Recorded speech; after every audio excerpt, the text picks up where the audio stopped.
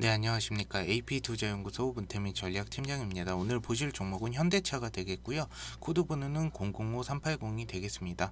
현재 시각은 2021년 2월 18일 오전 11시 18분이 지나가고 있겠습니다. 일단 현대차가 오늘 3거래일 동안 여기서 이제 올라가 줬는데 3거래일 동안 지금 다시 하락세를 좀 보이고 있는데 패턴이 좀 여기서 이제 애플카 때문에 이렇게 올라갔다가 좀 비슷하게 이제 움직이는 것 같아요. 그래서 어 일단은 여기 보면 오늘 같은 경우는 매도세가 좀 많이 강합니다. 매도세가 강한 부분이 있는데 어 내일까지 좀 조정을 받을 가능성은 충분히 있어요. 여기 23만 4천 원 아래까지는 어 충분히 조정을 받을 수 있는데 여기서 다시 한번 어 이렇게 어 올라갈지 다음 주에 그거를 한번 파악을 해보도록 할, 하겠습니다.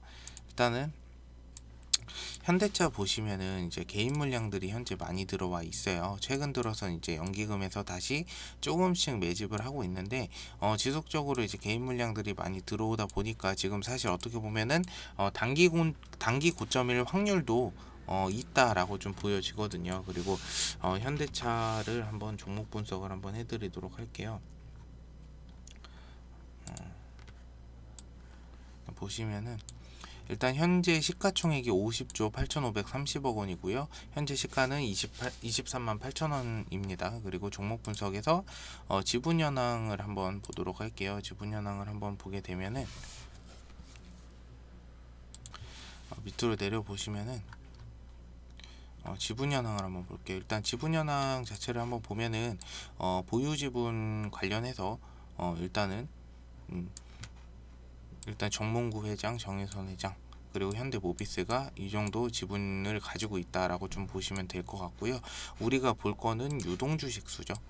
유동주식수가 일단은 한 40%에서 50% 정도가 된다고 하면은 어, 종목 자체가 이제 좀 잘 올라가는 편이에요. 근데 이제 어, 60%가 좀 넘어가게 되면은 이제 시소성이 좀 떨어지면서 어, 종목이 무거워서 왜냐면은 최대 주주부터 기타 주주까지 제외하고 나머지 이제 시장에 유통되는 거를 유동 주식수라고 하거든요. 어, 근데 이제 유동 주식수가 너무 무겁다 보니까 예, 종목이 쉽게는 못 올라가는 부분이 있어요. 이 부분에서도 개인 물량들이 좀 많이 들어온 부분도 없지 않아 있거든요. 그래서 어, 그런 부분들을 한번 참고해 주시면 될 것 같고요. 일단은 퍼 수치 자체는 나쁘진 않아요. 어, 이게 어, 주가 수익 비율이라고 말씀드렸습니다. 과대평가 혹은 가소평가 나타내는 척도라고 말씀드렸는데 어, 2019년 대비 2020년에 뭐 크게 차이는 없습니다. 크게 차이는 없는데 일단은 코로나 때문에 인해서 그런지 이제 3분기 때 좀 많이 적자를 봤어요. 영업 손실을 많이 봤죠. 매출액은 올랐는데 오히려 영업 적자를 본 부분도 있고요. 전체적으로 봤을 때 어, 매출액이 좀 감소하면서 영업이익도 좀 많이 감소를 했다라고 좀 보시면 될 것 같고 ROE 부분 자기 자본 비율이라고 말씀드렸죠. 한번 볼게요. 어, 자기 자본 비율은 좀 늘어난 것으로 좀 보여지거든요. 늘어난 것으로 보여지는데 부채 비율도 또한 늘어났습니다. 요 같은 경우에는 어 이제 운영 자금으로 어떤 부분을 쓰던가 아니면 부채 비율을 어 다른 부분으로 인해서 탕감하던가 이런 둘 중에 하나거든요. 근데 일단은 부채 비율도 늘어났고 자기 자본 비율도 조금 어 잠시만요. 어, 자기 자본 비율이 줄어들었네요. ROE 부분 제가 착각해서 여기 이 부분을 본 것 같습니다.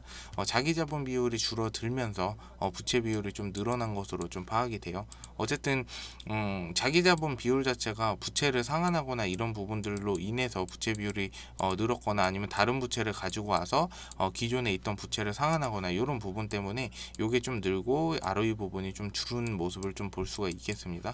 그래서 어, 이 부분 좀 체크를 해주시면 되고 근데 전체적으로 전체적으로 어, 현대차는 역시나 안정적이고 굉장한 우량주다 보니까 어, 주가가 뭐 크게 변동을 띠거나 그러진 않는 것 같은데 어, 기존에 보면은 여기서부터 좀 보겠습니다. 여기서 거의 한 12만원, 13만원이었던 종목이 지금 23만원까지 가긴 했어요. 그래서 어, 어떻게 보면은 거의 6개월 만에, 6개월 만에 어, 이렇게 올라갔기 때문에 이 부분이 좀 단기 고점일 수도 있다라고 좀 파악이 돼요. 그래서 주가가 이런 식으로 여기 부분을 지지를 해주면서 이렇게 왔다 갔다 하면서 좀 우상향하면 좋겠지만은 어, 우리 생각대로 틀리게 이렇게 떨어질 가능성도 분명히 배제할 수는 없다. 어쨌든 간에 지금 61선하고 121선만 좀 지지를 해주는 부분이 있기 때문에 어느 정도 이제 신규 접근하시는 분들은 23만 4천원 아래에서 꼭 어, 매매가 좀 들어가야지 좀 올바른 어, 방법이고 손해를 좀 어, 많이 덜 수 있다라고 좀 말씀을 드리고 싶습니다.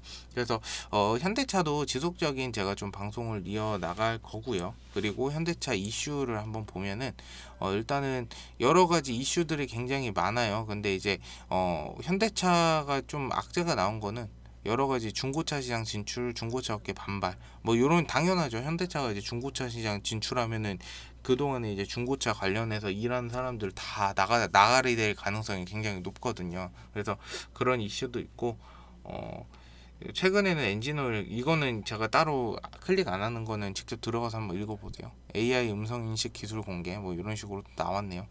여러 가지 이제 뭐 이슈가 파장도 있고 이슈도 있는 것 같습니다. 그래서 딱히 큰 호재의 이슈는 없어요. 그래서 제가 그 이슈가 나올 때마다 지속적으로 좀 방송을 이어 나가도록 할 거고요. 어쨌든 오늘 방송 들어주시느라 고생 많으셨고 좀 도움이 되셨다면 좋아요와 구독 한 번씩 부탁드리도록 할게요. 감사합니다. 자 그리고 어, AP 투자 네이버에 AP 투자 연구소 검색하시면 어, 여기 클릭을 해보시면요. 여기 무료 추천 라이브 있는 부분 있죠. 라이브 부분 있는 쪽에 무료 추천 종목을 클릭하시면 어, 밑에 이런 식으로 실시간으로 어, 계속 이제 무료 추천 종목이 나갑니다. 그래서 하나 클릭을 해보자면 저번 주 수요일이죠. 그러면은 뭐 3전 2승 1패 뭐 이런 식으로 세 종목이 항상 나갑니다. 세 종목 중에 두 종목은 수익권, 한 종목은 어 이제 어 홀딩 종목 이런 식으로 이렇게 해서 나가고요. 어 밑에 보시면 저희 김영재 소장님께서 어 일단은 음, 그 공지사항으로 이런 식으로 자기소개 부분이 있고 어, 항상 미국장 어, 다우지수나 나스닥 관련해서 어, 체크해서 항상 올려 주시니까 이것도 한번 어, 보시면 좋을 것 같고요. 어, 밑으로 쭉 내려보시면 이런 식으로 9시에 추천이 나가요. 마이크 브랜드 현재가 8,000원 그리고 9시 1분에 대림제지 9시 2분에 삼보판치 이런 식으로 항상 세 종목 정도 추천이 나갑니다. 이런 차트도 같이 보여주기 때문에 실시간으로 어, 항상 봐주시면 감사할 것 같고요. 어, 이런 식으로 이제 추천 매수가가 올라가게 되면 이런 식으로 실시간으로 음, 이렇게 어, 올려주시니까요. 이것도 참고하시고 어, 또 이런 식으로 정리를 해주세요. 뭐 금일 수익 종목 대림 제지 삼보판지 금일 보유 종목 마이크 브랜드 이런 식으로 이렇게 나가고요 어 이런 공지도 나갑니다 뭐 초단타로 진행하는 것이어서 매일 하는 이유는 어 어떤 종목으로 매일 초단타를 하는지 보고 연구해 보라는 의미로 어 하는 것이기 때문에 많은 돈으로 이제 뭐 그 몰빵을 하신다거나 어, 이런 식으로 진행은 어, 하지 않는 게 좋다 이렇게 말씀드리고 싶고요. 어, 밑으로 쭉 내려 보시면 어, 이런 식으로 어, 이제 오전에 장 시황 관련해서도 어, 이런 식으로 나, 실시간으로 나타내 주니까 아, 한 번씩 어, 보시면 좋을 것 같습니다. 그래서 어, 뭐 많이 이제 물리신 분들이나 아니면 단기간에 좀 수익을 내고 싶다 하시는 분들은 어, 여기 들어오셔 가지고 좀 따라 해보시면 좋을 것 같습니다. 어, 어쨌든 그 여기 궁금하신 분들은 여기 들어오셔 가지고 무료 종목 한번 받아보세요. 감사합니다.